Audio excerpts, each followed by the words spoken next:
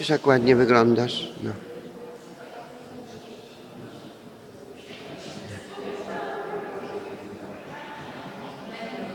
Proszę się uśmiechnąć.